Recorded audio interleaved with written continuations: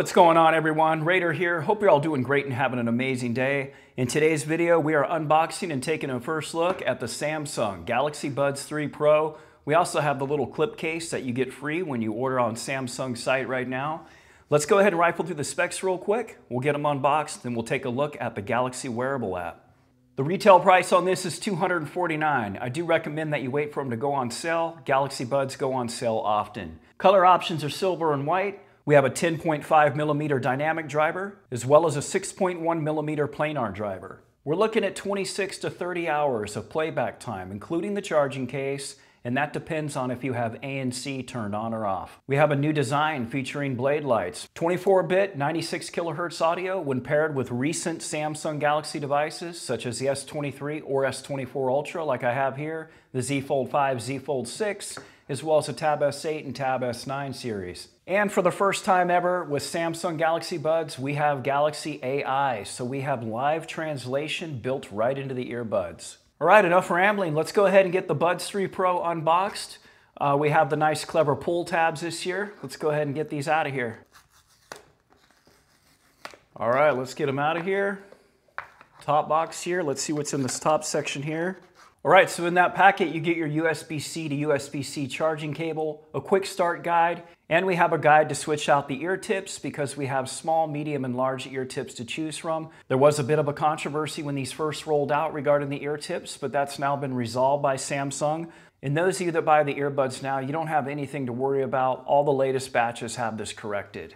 And speaking of those ear tips, make sure you don't lose them because they're kind of embedded in the uh, charging cable section here and uh, if you just set this off to the side, you'd have no idea that you have extra ear tips to put on. All right, now let's take a look at the star of the show here, the Galaxy Buds 3 Pro. Here's the uh, case that has this translucent top. It looks a little bit like a car with window tint applied.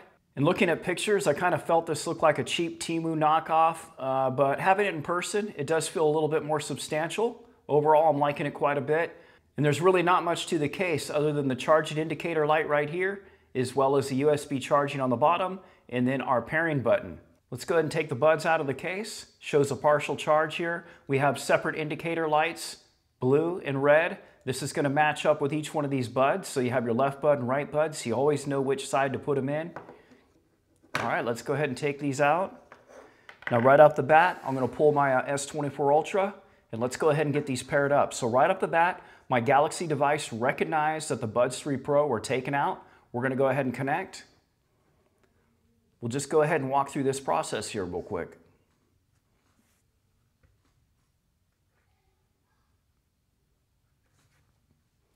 All right, so it looks like it's downloading the Galaxy Buds 3 Pro Manager.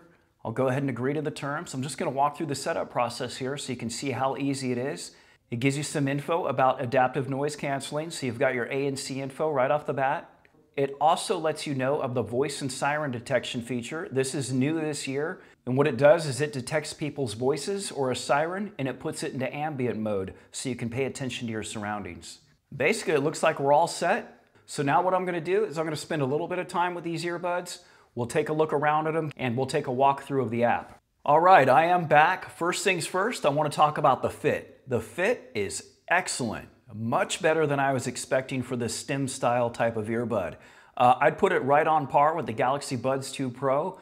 Uh, in fact, I might think these actually stay in my ears just a little bit better, but do keep in mind these are just my initial impressions. I haven't been out like jogging with them or trying to do anything exhaustive, just tinkering around here in the office. So far, no issues with the fit whatsoever. Sound quality. I've got some Metallica queued up. Let me go ahead and play this real quick crank this up. Plenty loud. The volume uh, is a little on the excess side. That's almost starting to hurt my ears a little bit. Let's crank that down a couple notches. That's more like it. Even that's super loud. Bass response is definitely there. I can just feel Lars Ulrich just pumping that bass drum. The overall tonality is excellent. The rhythm guitars are coming through nicely. A lot of punch with the bass guitar. I mean, Metallica is sounding great on these Galaxy Buds 3 Pro. No concerns with the sound quality at all. The most recent earbuds I've used are the Buds 2 Pro, and I do have to say these sound a little bit better. A little bit more depth on the lower end, probably due to these new drivers. I am really appreciating them. The overall tonality and sound quality is fantastic. Now let's take a quick look at all the settings inside the Galaxy Wearable app. Remember, the Wearable app is where you're going to control all your wearable devices. Like if I swipe over here, it's going to load up all my settings for my Watch Ultra. So it's a real convenient spot to go ahead and control all of your wearable devices from Samsung. So you have some different listening modes here. Off, ambient sound, adaptive, and active noise canceling. Ambient sound, as you would expect, allows you to hear all of your outside stuff uh, while you're listening to music. I find it's done very tastefully. It doesn't have like a robotic sound. Everything sounds really natural when you're in that mode. This adaptive mode, this is kind of new. This basically implements AI to tailor the sound based on the size of your ears. It's taking that into consideration, your outside environment, as well as the music you're listening to. I've only listened to rock so far. I do like to mix it up usually, but just for testing, I've been listening to rock, and uh, it does a great job of just providing a great overall sound. Like when I'm in adaptive, I don't even feel the need to bother with the EQ settings or anything like that, so that's great. Active noise canceling should speak for itself. And I should also mention when you go into these different modes, if it lets me without them in, looks like I'm gonna have to put the earbuds in, hold on. So it detected when I put them in, automatically switched them over to my last mode that I was in, which happens to be ambient sound. We can pick the level of how much ambient sound we want to come through. When you switch over to adaptive, you don't have any additional settings, but when we go over to active noise canceling, we can also adjust the active noise canceling level and I can barely hear myself talk uh, right now while making this video with this on. I got to get that turned off. So that definitely does a good job of blocking outside sounds, including my own voice. That was kind of creepy there. Uh, sound quality and effects. This is where you'll enable 360 audio. You can go ahead and adjust your EQ. This is a nine band graphic EQ, and we also have presets as well as the custom option to fine tune each one of these bands. That's pretty sweet. You can also tell it to adjust the sound to your fit. So it'll detect how good of a fit you have and it will tailor the sound to that, as well as do an earbud fit test to see if you're wearing the right size tips. We go into earbud controls. This lets you adjust the media controls and it gives you a little walkthrough of what they are. Now, I will have to say, uh, compared to last year's Buds 2 Pro, I am not as big of a fan of these media controls as I was on last year's model. So here, let me show you something. Let me grab the right earbud.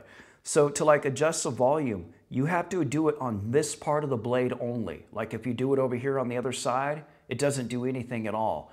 And on the Buds 2 Pro, what we used to be able to do is enable an advanced option that let you tap on the top of your earlobe to turn it up on one side, like your right ear, and you can tap on the top of your left ear to decrease the volume.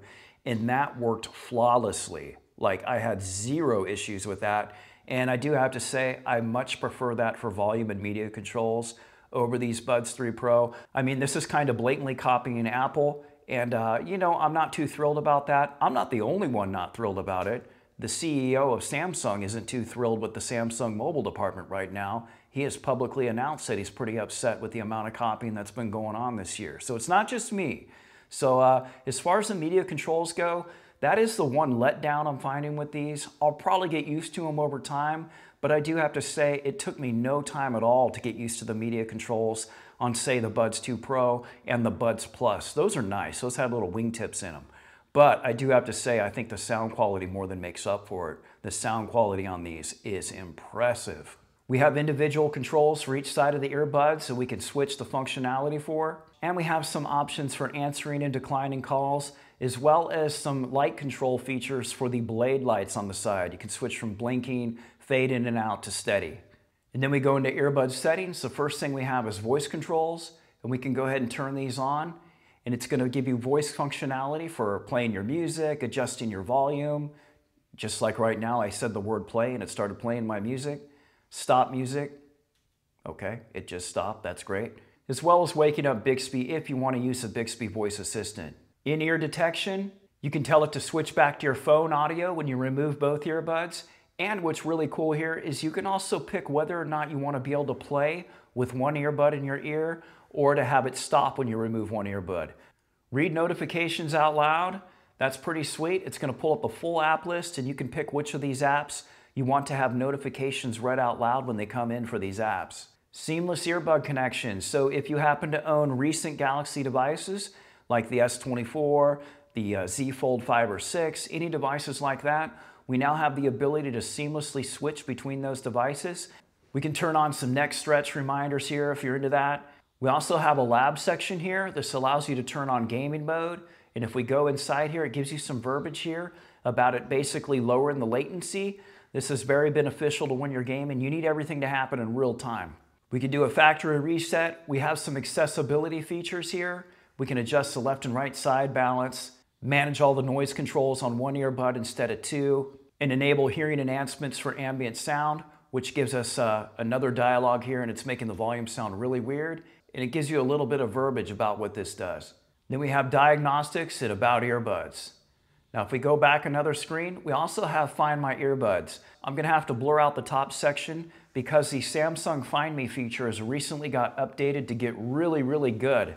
Now it pinpoints you right on a map, and not only can you find the Buds 3 Pro, I can actually go through a list of all my Samsung devices and find them right within this Samsung Galaxy Find Me. You can actually load this up separate of the wearable app if you're looking to just use the Find Me functionality on its own. All right, lastly, before I give my final thoughts on the Buds 3 Pro here, at least my introductory thoughts, let's go ahead and take a look at this uh, clip case with, uh, I can never pronounce this right, Caravan or whatever you want to pronounce it. Basically, it's just a cover for the case. But uh, you get this free when you order them, at least you do right now. All right, let me go ahead and get this out of here. All right, comes in this little uh, plastic wrap here. That's all fine and dandy. Looks like you have to push in on this clip to release it. That's nice. That's gonna make sure that the case doesn't fall out of it. Let's see if it's actually hard to get in here. We got some plastic wrapping stuff in here that has our little keychain holder. So that's all nice and dandy. Let's go ahead and slap this case in here, see if it's a big deal. Okay, that's it. Uh, that's not a big deal at all. Yeah, that's great. That fits nicely.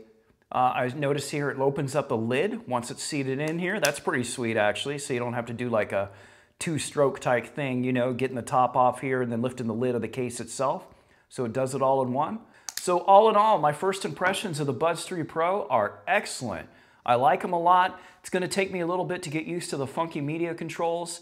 But all in all, I think the sound quality makes up for everything. Not a huge fan that they're copying Apple here. I mean, come on, let's be real about it. They look very much like AirPods, a little futuristic looking. So I'm not totally sold on the design choice. However, the fit and finish is great. The sound quality is great. Those are the main two things that matter to me. If you have any questions or comments about these Galaxy Buds 3 Pro, please drop them down in the comments section below. I really do appreciate your time. And as always, thanks for watching.